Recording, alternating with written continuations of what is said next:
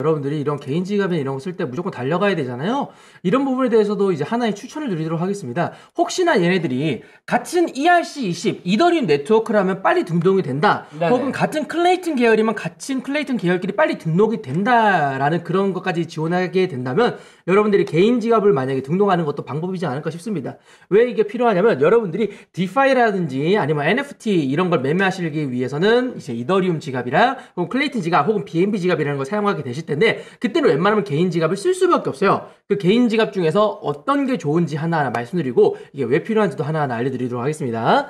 여러분들이 강남 가서 이걸 등록하셔야 되는데 로그인형, hard wallet형, 앱 실행형이 있는데 제가 개인적으로 추천하는 건 앱 실행형이 가장 추천드립니다. 앱은 뭐냐면 핸드폰 어플에 까는 거예요. 핸드폰 어플 중에서 가장 괜찮은 지갑 어플 중에 하나가 뭐냐? 바이낸스가 직접 만든 게 있어요.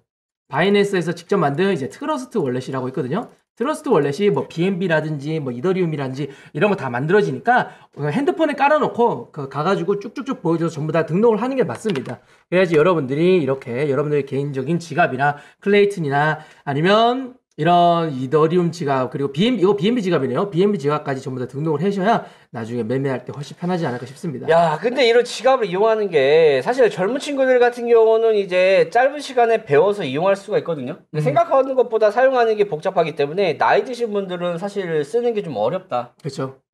할 수가 있습니다. 거기다가 내가 이제 수탁을 맡기거나 이제 그런 것도 이제 안 되는 거잖아요. 음. 어, 개인 지갑 회사들 거의 다 망했네 이제. 그죠. 개인 지갑 회사를 쓸 이유가 없어졌어요. 네네. 그 중에서 가장 유명하고 가장 호환성이 좋은 애 하나만 쓰게 될 거고 그 이외의 모든 지갑은 다 망할 겁니다. 음. 그리고 이제 여러분들 이 부분 꼭 참고하시고요. 이게 진짜 트래벨로 르는가? 난 잘 모르겠습니다. 이거는 그냥 빗썸이 자살하는 행위가 아닐까? 음. 업비트도. 만약에 이렇게 간다고 한다면 업비트도 같이 그냥 자결하는 꼴이죠. 맞아요. 누가 국내 거래소 씁니까? 해외 거래소 쓰지. 음. 이렇게 해버리면. 그러면 이제 완전 코인 시장, 한국 코인 시장이 갈라파우스화가 된다. 맞아요. 이런 지갑 이용하고 뭐하고 등록하고 복잡하게 누가 이걸 우리나라에 씁니까? 해외 거래소 이용하다가 테더로 들고 있다가 나중에 팔 때만 그냥 국내에 너 가져와서 매도하거나 아니면 장외로 그냥 팔아버리지. 그렇죠. 어. 이거를 거래소에 물어보면 뭐라고 하는지 아세요? 뭐라고 합니까? 야야야 개미들아 출 사라지에서 고객센터로 찾아오라고 합니다. 예, 노인분들 혹은 핸드폰에 취약하신 분들 잘 모르시겠죠? 거래소 직접 오세요 해가지고 거래소 오면 직접 만져준답니다. 음. 그러면 지방 사는 분들은 돈 열심히 쓰셔가지고 하루 휴가까지 쓰셔가지고 서울 강남대로 오셔가지고 비싼 고객센터에 줄 서가지고 이거 하셔야 돼요. 아, 뭐 상담원이 한 수백 명 된대요? 그 정도는 아닙니다. 또 같이 줄 서야 돼요. 상담원이 그렇게 많지가 않을 텐데. 네. 그 많은 사람들 이용자가 업비트만 해도 500만 명, 600만 명에다가 실제로 이거 하시는 분들만 수십만 명 될 텐데 뭐 비싼 기준으로만 따져도 그쵸? 엄청나게 많은 사람들이 요청을 할 건데 그거를 일일이 다 해준다고? 어 지금 쌍팔년대 노가다를 뛰시려고 하시는 건가? 정말 답이 없습니다. 심지어 지방에는 고객센터 하나 없어요. 그렇죠. 이런데 왜 이런 구조를 만들었는지, 왜 이렇게 불편하고, 심지어 가이드라인까지 없는 이 공지를 왜 때려서 개인 투자자들을 힘들게 만드는지, 정말 빗썸의 행동이 정말 이해가 안 됩니다. 최소한으로 지방에 센터라도 하나 만들어줘서 중간중간에 모셔서 이용할 수 있게 자그마한 창구라도 하나 만들어준다면 그나마 조금 편할 텐데 그거 돈 얼마나 들어간다고 안 하지? 그쵸? 대부분 그냥 중소기업 AS 센터도 지역별로는 있습니다. 아, 맞아, 맞아, 맞아, 네. 맞아. 그냥 중소기업 있죠. 진짜 소규모, 진짜 뭐 우리가 잘 안 쓰는 조그만 악세사리 이런 전자기기 만드는 애들도 지역별로는 있어요. 큰 지역별로는 있는데 빗썸은 사실 중소기업이긴 하지만 그래도 엄청 왁구가 있는 데인데 없죠. 그죠?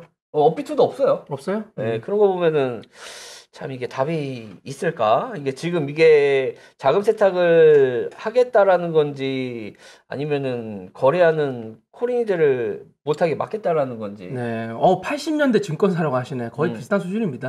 그러니까 이제 다시 한 번 더 정리, 말- 정리 말씀해드리면 1월 27일 이후로부터 빗썸은 코인 입출금 둘 다 너무 불편해진다. 네네. 무조건 내가 등록해 놓은 출금 지갑 주소로부터 입금을 할 수도 있고 출금할 수 있다. 그만큼 내가 보유한 지갑으로부터만 내가 보유한 계정 혹은 코인 지갑으로만 서로 서로 코인 왔다 갔다만 가능하지 그 이외에는 전혀 불가능하고 그 등록 과정은 매우 불편하다. 그러니까 빗썸 쓰시는 분들은 꼭 참고하시고 등록을 해놓는다고 하더라도 사실 이용하는 게 너무 불편해지는 거예요. 음 이 너무 복잡하고 불편하고 나이 드신 분들은 힘들다고 분명히 이거 중간에서 해주겠다고 가로채는 양아치 새끼들도 많이 생길 거란 말이야. 네네. 대신해드림 뭐 이런 것들 그래서 문제가 많이 발생할 거라고 생각하는데 이거는 뭐 빗썸에서 이렇게 하겠다라는 건지 은행에서 이렇게 시킨 건지도 모르겠어요. 코인원은 또 어떻게 갈지 모르겠고. 업비트도 어떻게 갈지 모르겠지만 너무 복잡해요. 지금 음. 빗썸 이거 악수 두는 거예요. 제발 좀 잘 좀 해줬으면 좋겠습니다. 어. 정치인들은 이제 정말 쓸모없는 ICO 공략 이런 거 하지 말고 코인 시장에서 정말 불편해질 만한 이런 트래블 관련돼서 좀 정착될 수 있는 그런 과정에 대해서 좀 도와줬으면 좋겠습니다. 차라리 이런 게 나을 수도 있어요. 이게 지금 자금 세탁 때문에 이렇게 하신다면 입금되는 건 일단 다 받아줘. 음. 나갈 때 이 돈에 대한 출처를 밝히라고 얘기하면 되잖아요. 그쵸. 은행도 받는 건다 네, 받는다, 야. 받는 건 다 받아요. 은행도 받는 건 편하게 받아, 이 인간들아. 코인은 왜 안 돼? 받고 나서 생각해. 야, 음. 너 세금 냈냐? 야, 근데 그 이상한 돈이잖아. 잠깐 묶어볼게. 어. 뭐 이렇게 하다가 좀 받게라도 해줘. 차라리 입금은 받되 그 이상한 지갑에 대해서는 이상한 물량에 대해서는 이제 왜 이런 물량이 나왔는지 나중에 이제 조사하는 게 조금 더 안정적이지 않을까라는 생각이 들고 이렇게 되면요 이 재단들의 물량이 안 들어가집니다. 음, 이 재단들의 물량도 하나하나 이렇게 검사를 하겠다는 건데 그죠, 그죠. 재단에서 물량이 안 들어진다는 거는 이제 빗썸에서 더 이상 MM 팀들이 활성화를 못 시킨다는 거고 우리가 생각하는 그, 그 불꽃 마크 있죠? 음, 그런 것도 이제 거의 없다라고 봐야죠. 근데 업비트도 지금 약간 불꽃 마크들을 없애는 모습인데 그죠. 그러면 우리가 기대하는 또 이제 그 급범핑이 나올 확률도 좀 줄어들지 않을까라는 생각이 좀 많이 드네요. 맞습니다. 그러니까 너무 슬픈 내용이고요. 음. 업비트가 어떻게 나올지가 가장 중요합니다. 야, 웃긴 게 그거야. 보통은 입금 주소, 출금 주소를 동일하게 해서 이것만 받는다가 아니라 입금되는 건 받고 나서 이제 빠져나갈 때 이 돈에 대한 문제를 제시하는 게 이제 자금 세탁이거든요. 그쵸. 원래 그게 정답이에요. 입금하는 것 자체도 야야야 이거 등록된 지갑이 아닌데 하면 돌려주는 것도 아니고 어떻게 할- 어, 어, 아직 그런 아직- 케이스가 없, 몰라요. 이거는 아직 규제 가이드라인도 없다라는 거잖아. 그게 가장 큰 문제야. 맞아요. 시행은 하겠다는데 사례가 없기 때문에 나는 답변을 줄 수가 없다. 아니죠. 이런 케이스들 단순한 케이스잖아요. 어, 입금이 됐는데 지정되지 않은 지갑에서 물량이 들어온 거야. 그러면 그거에 대한 케이스들을 미리 생각을 해놓고 고객들한테 얘기를 해줬어야지. 아 그런 경우에는 반송을 해드리거나 입금 처리가 안 되거나 뭐 이런 것들을 공지를 미리 해야죠. 음. 그래서 우리가 잃어버릴 수도 있기 때문에 등록되지 않은 지갑에서는 이제 입금을 하시면 안 됩니다라는 공지라도 해놓던가. 공지 없잖아. 아무것도 없어요. 네. 말도 안 해줬어. 어, 모르는 지갑에서 당신 지갑으로 돈이 들어오는 건 누구 돈인지 모르기 때문에 당신 통장에 찍어줄 수 없다라는 내용도 없잖아. 음.